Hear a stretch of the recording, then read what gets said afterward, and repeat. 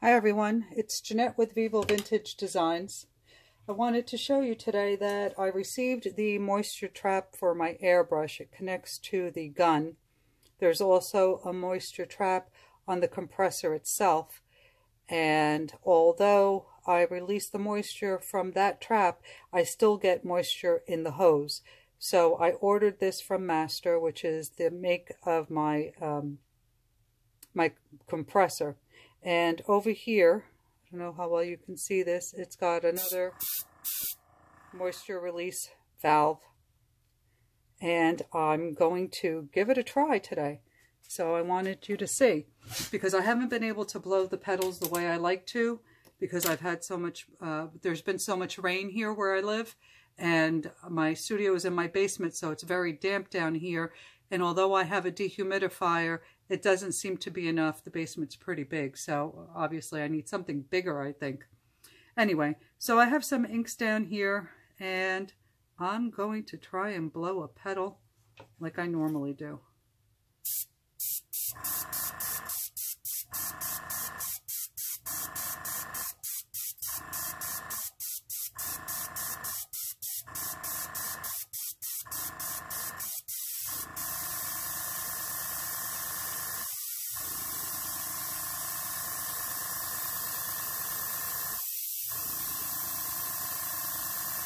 It doesn't seem to be spitting any moisture onto the paper.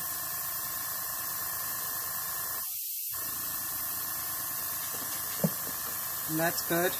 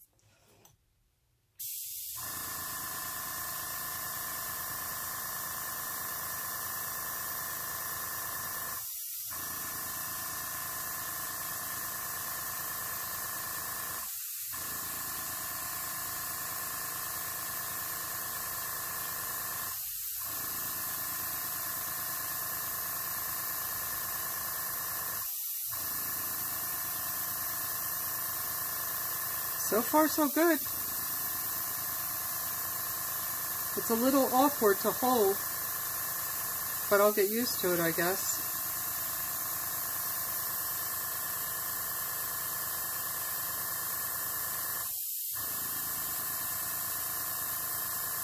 Now I bought this on Amazon. I ordered um, I ordered it from Master.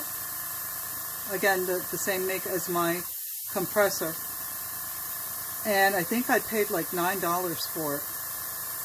So if you have an airbrush and you're having problems with the moisture, I really recommend getting one of these because so far it seems to be making a big difference. I haven't been able to make petals like this in a couple of weeks. There's been so much rain in New Jersey where I'm at.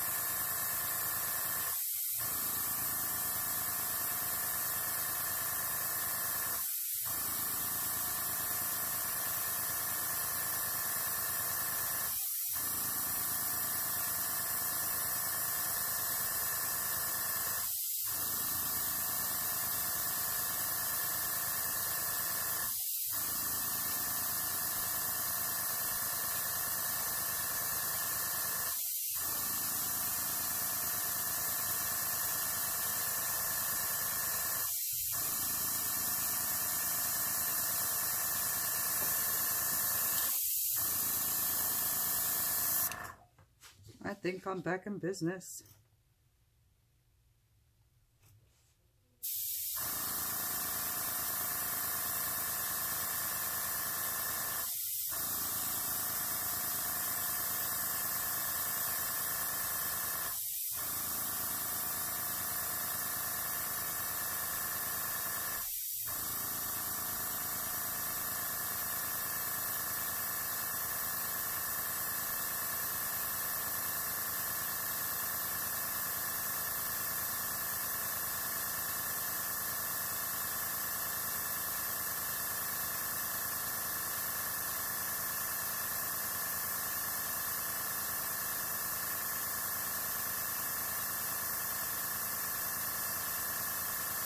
Now I use 99% uh, isopropyl alcohol, which should evaporate faster than a lesser percentage, but it still takes forever to dry for me. And if you don't let it, uh, rather, if you don't dry it completely when you're blowing petals, I'll show you what happens. You get these little uh, these little rings. And um, this one looks rather phallic. So you have to make sure that you dry it completely. Otherwise you get those funny little marks at the end. So it's taken me some time, which I guess I, I don't know why that is.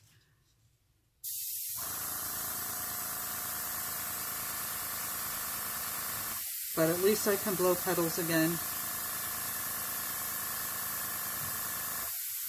So if you have issues with moisture in your airbrush, it's absolutely worth the 9 to $10 investment.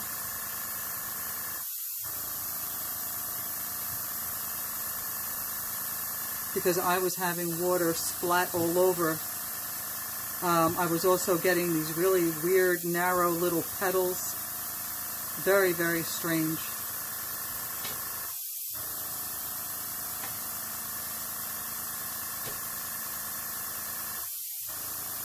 I'll make sure to put the link for the one that I purchased in the description below the video if you'd like to take a look.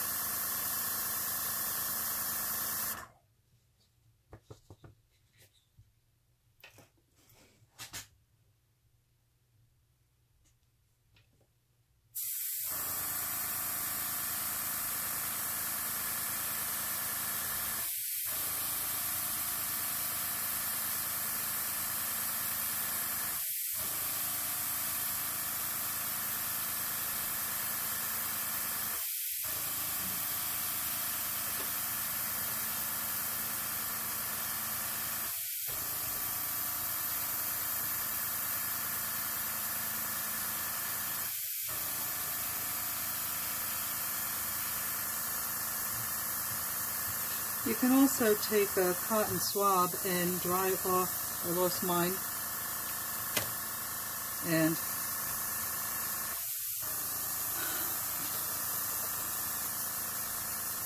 I'll show you once I'm finished with this, these funky little petals that I'm getting, um, the ends of it rather. I'll show you what you can do. As soon as I'm done with this one.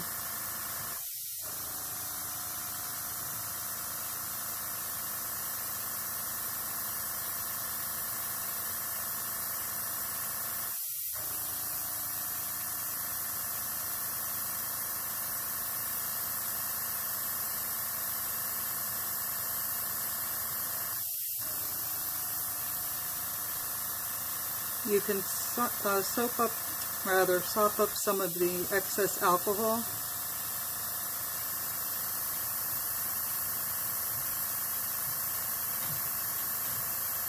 with a cotton swab. But even if you get some wonky petals that you're not crazy about, I'll show you what you can do. This one obviously I have to do again because obvious reasons.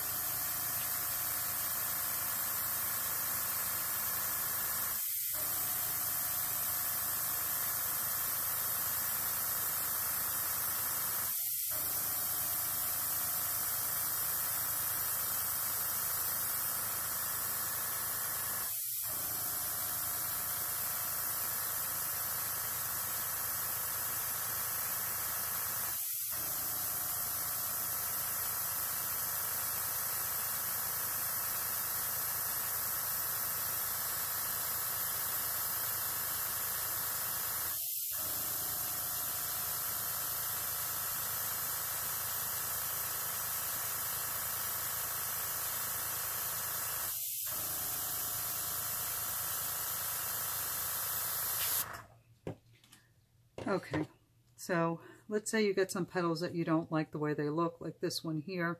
I could blow over it, or I can just take the clean part of my cotton swab, put some alcohol on it, and if the colors are light enough, you can usually clean them up. Clean up the ink and shape the petal any way you like. Just make sure to keep turning the cotton swab so that you don't end up rubbing more ink onto the paper. This one here has that little droplet. I'm just going to erase it completely. Now I normally don't shape my petals because I like the odd shaped ones. I think it's pretty. But um, let's see. This one has one of those little droplet or odd shaped tips. And this one I'm still not crazy about. So I may just actually blow over this one again.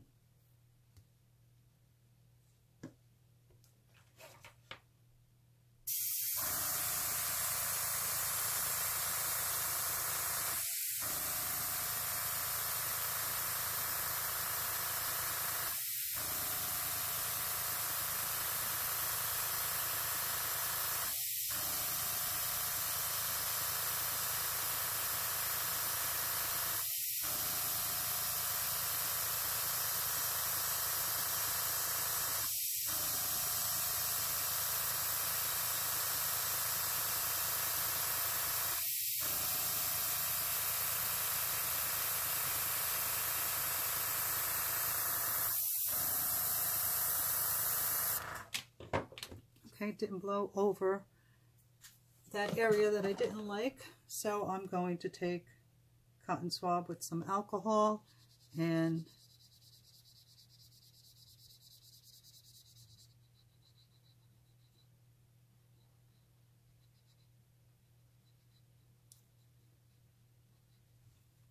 erase it. So there you go.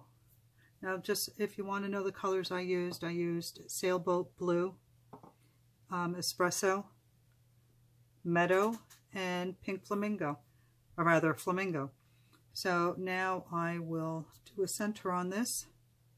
And if you have any questions regarding the, the, the moisture trap that I just purchased, um, let me know. This, this is great. And so far I can see that it's making a difference. You enjoyed the video, give me a thumbs up. If you have any questions, leave them in the comments. You can also follow me on my Facebook page, Vivo Vintage Designs. And if you haven't already, go ahead and hit that subscribe button. Thanks, guys. Bye.